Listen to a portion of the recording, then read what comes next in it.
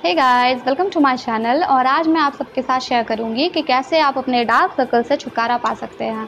Dark circle जब हो जाते हैं हमारे फेस पे तो वो बिल्कुल भी अच्छे नहीं दिखते। वो हम, हमारी आँखें किसकी तरह दिखती हैं पता है आपको? वो पैंडाज की तरह।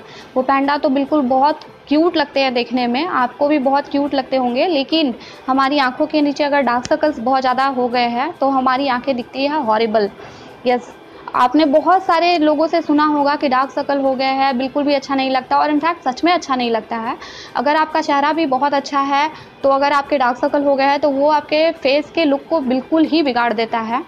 तो अगर आप अपने डार्क सर्कल से निजात पाना चाहते हैं, आप अपने डार्क सर्कल को रिमूव करना चाहते हैं तो देखिएगा इस वीडियो को लास्ट तक। लेकिन अगर आप अपने डार्क सर्कल से छुटकारा पाना चाहते हैं और कैसे पाएँगे, इससे स्टार्ट करने से पहले मेक श्योर sure आप कर ले मेरे चैनल को सब्सक्राइब इस वीडियो को करना बहुत सारा लाइक और अपने फ्रेंड्स और रिलेटिव्स के साथ ज़रूर शेयर करना। और हाँ जब आप सब्सक्राइब करेंगे तो आपको बेल आइकन दिखेगा, उसे ज़रूर हिट करना ताकि आपके, आपको मेरे हर एक वो वीडियो के नोटिफिकेशन मिलते रहेंगे। और इस वीडियो को शेयर कर देना अपने फ्रेंड्स और रिलेटिव्स के साथ। लाइक करने से तो आपको कोई रोक नहीं सकता। तो चलिए देखते हैं कि हम कैसे अपने डार्क सर्कल से छुटकारा पा सकते हैं और अपनी आँखों को सुंदर बना सकते हैं। तो चलिए देखते हैं। डार्क सर्कल हटाने के लिए हमें चाहिए होगा थोड़ा सा हनी मैं पतंजलि का हनी यूज़ करूँगी।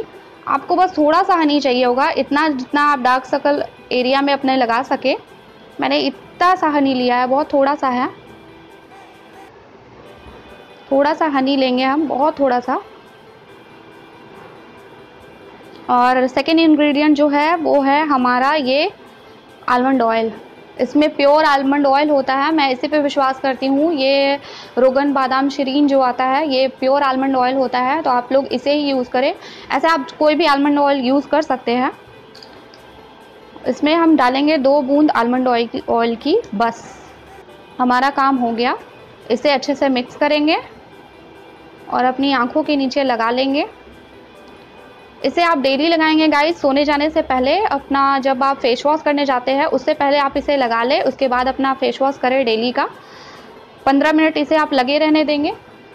जब तक आपके डार्क सर्कल्स नहीं चले जाते, पंद्रह मिनट आप इसे बस लगे रहने दें, उसके बाद आप अपने फेस को धो लेंगे, ठंडे पानी से धो लेंगे।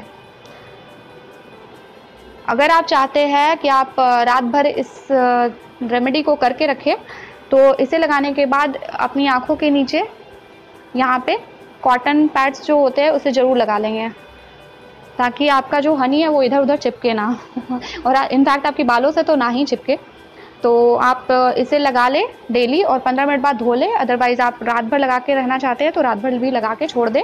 आप देखेंगे कि एक हफ़्ते में ही आपको बहुत ज़्यादा फ़र्क देखने को मिल गया। आपकी आँखों के डार्क सर्कल्स है, जो 90 परसेंट तक चलेगा तो आप इस रेमेडी को ज़रूर फॉलो कीजिए। मेक श्योर मेरे चैनल को ज़रूर सब्सक्राइब कीजिए। अपने फ्रेंड्स और रिलेटिव के साथ ज़रूर शेयर कीजिएगा।